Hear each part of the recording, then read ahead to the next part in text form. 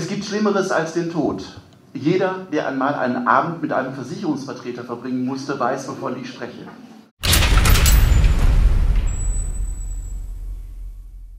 Viele Menschen denken bei HIV und AIDS gleich an Sichtum, Depressionen, Tod. Zwar ist die Krankheit immer noch nicht heilbar, doch bedeutet eine Infektion heute dank verbesserter Medikamente bei weitem nicht das Ende. HIV-Positive und AIDS-Kranke können ein langes und erfülltes Leben führen. Das beschreibt Matthias Gerschwitz in seinem persönlichen Erfahrungsbericht Endlich mal was Positives. Aber der gebürtige Wuppertaler, der sich schon vor langer Zeit für Berlin entschieden hat, ließ sich von dem Virus nicht unterkriegen. Das beweist auch sein Buch Endlich mal was Positives.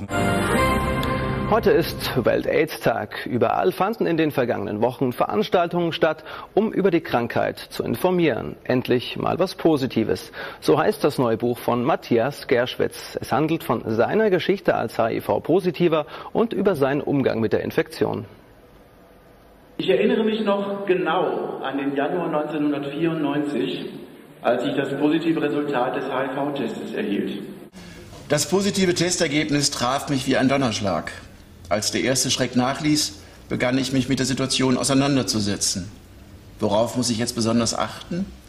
Ich fand die Frage normal, aber der Arzt schien den Tränen nahe. Ach, genießen Sie die Zeit, die Ihnen noch bleibt und machen Sie das Beste draus. Zunächst glaubte ich nicht richtig gehört zu haben. Ich hatte nicht vor, mich so einfach meinem Schicksal zu ergeben und gehofft, zumindest ein paar Informationen zu erhalten. Nach dieser Antwort wagte ich nicht, noch einmal nachzufragen. Trotzdem blieb ich gefasst und versuchte dem Arzt mit ein paar freundlichen Worten über seine traurige Stimmung hinwegzuhelfen. Ja, in der Tat, ich tröstete den Arzt.